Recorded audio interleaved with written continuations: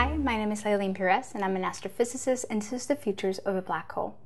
So this is a this is gonna get a little strange and a little exotic, so uh, bear with me. I'll, I'll first describe uh, a simple black hole sketch and then I will talk about different types of black holes. So the first sketch that I want to talk about is the main component of any black hole. And the main thing to know is that we have a singularity. And this is what remains of the collapsed star. And the really important thing here to know is that it has a finite amount of mass. So a star didn't have an infinite amount of mass, it had a finite amount of mass. This is the remaining mass of that collapsed star, but it's confined to a zero volume. So that means it has infinite density. And I know that's strange. So infinite density, but it has finite, finite uh, mass. Now, every black, hole has one of those. Now, the next thing that we want to talk about is the event horizon. And this is the event horizon. Now, the event horizon is the point of no return. Once you pass the event horizon, not even light can escape. You, you are going to remain either in orbit around the black hole or you're just going to go directly into the black hole.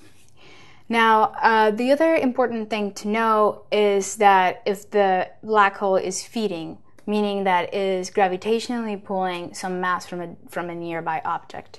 Let's say that this is a star, and is the star is starting to have this mass accreting around the black hole. This is called the accretion disk.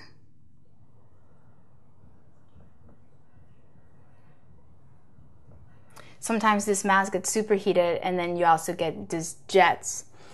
Uh, so we get these massive jets but not all of them have them.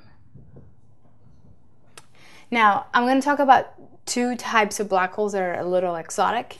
Um, the first one that I want to talk about is the Kerr black hole, and the Kerr black hole introduces a new type of uh, anatomy. And here you uh, introduce something called the ergosphere, and the ergosphere um, this is kind of this is getting messy, but uh, if you can keep track of this, this is an ergosphere And this is kind of the static limit for the black hole. And this becomes uh, the last stable orbit for that black hole. Now, another interesting one, and I would just mention this one, um, is called the, Re- the Reissner-Nordström black hole. And this one has two different event horizons. And this one gets a little weirder because you have an outer, uh, an outer horizon, event horizon, and what that does is that it flips space and time.